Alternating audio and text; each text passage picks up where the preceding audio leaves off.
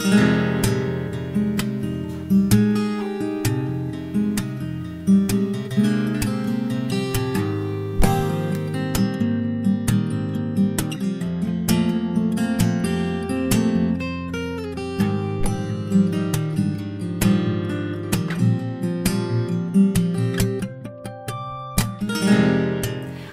Thank you so much for tuning in again. Today I'm going to be doing one of the looks that Brandy is wearing in her latest music video.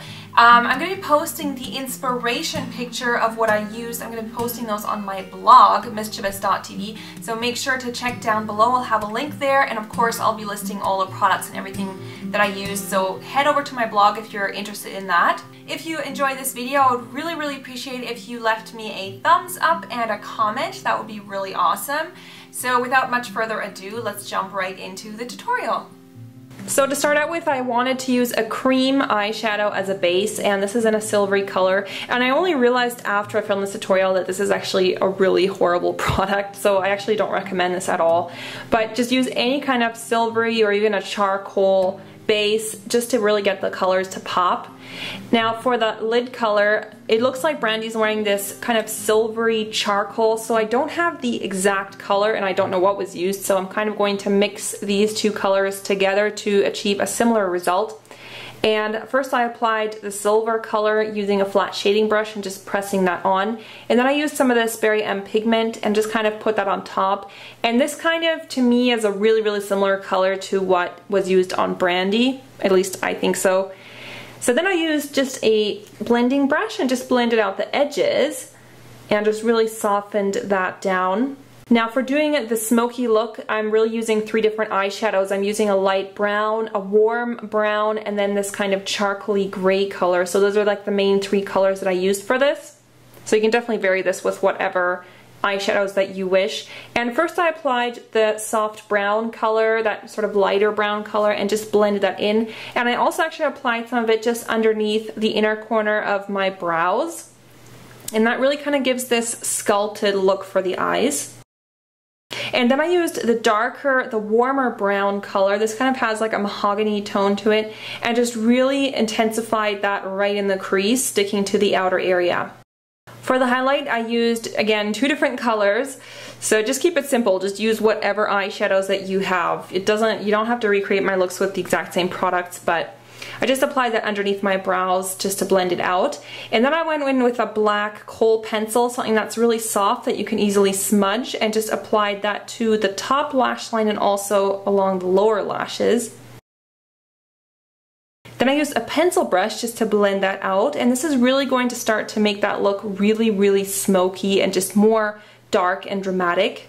If you have any messes or any areas that you need to clean up, I think a Q-tip is just a really easy way how to do that. So here I'm just kind of sculpting the shape. And then I followed up that with that gray eyeshadow just along the lower lashes as well. Now on the inner highlight, it looks like Brandy has this very warm golden tone, so I kind of try to replicate that look. Of course, if you have darker skin, this is going to show up a lot differently. It's going to make it look much more intense than if you have very fair skin like I do. And under the brows, I wanted to use a highlighting pencil, so this is just going to add a little bit of shimmer underneath the highest point of my brows. This is going to help them make look more defined, and it's just going to add a really pretty highlight right there. So then I applied mascara on both the top and the bottom and this is really just in preparation for the lashes which I'm going to apply. So in Brandy's video it looks like she's actually wearing lashes on the top and the bottom so that's kind of what I'm going for here. So I applied a pair of strip lashes on the top just using some duo adhesive and some tweezers. I just find that a lot easier. And then I basically did the same thing on the lower lashes. So you just want to use um, under lashes and just flip them the correct way so that they're pointing kind of downwards. So here I'm just kind of pressing them on and you can see the same step that I'm doing for my lower lashes and you want to put these on underneath your natural lashes so don't put them on top of the hair.